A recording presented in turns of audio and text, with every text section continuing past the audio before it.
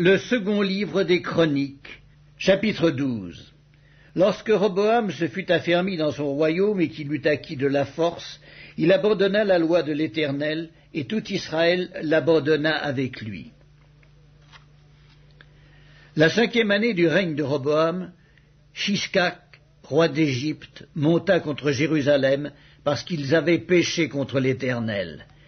Il avait mille deux cents chars et soixante mille cavaliers. Et il vint d'Égypte avec lui un peuple innombrable, des Libyens, des Sukiens et des Éthiopiens.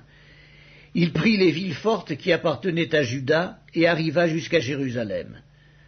Alors Shemaéja, le prophète, se rendit auprès de Roboam et des chefs de Juda qui s'étaient retirés dans Jérusalem à l'approche de Shishkak.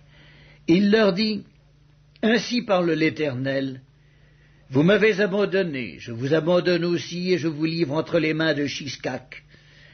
Les chefs d'Israël et le roi s'humilièrent et dirent L'Éternel est juste. Et quand l'Éternel vit qu'il s'humiliait, la parole de l'Éternel fut ainsi adressée à Shemaja. Ils se sont humiliés, je ne les détruirai pas.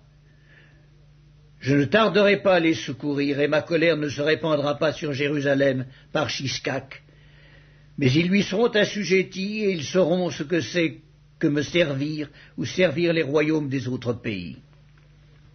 Shishkak, roi d'Égypte, monta contre Jérusalem. Il prit les trésors de la maison de l'Éternel et les trésors de la maison du roi, il prit tout. Il prit les boucliers d'or que Salomon avait faits. Le roi Roboam fit à leur place des boucliers d'airain, il les remit aux soins des chefs des coureurs qui gardaient l'entrée de la maison du roi. Toutes les fois que le roi allait à la maison de l'Éternel, les coureurs venaient et les portaient.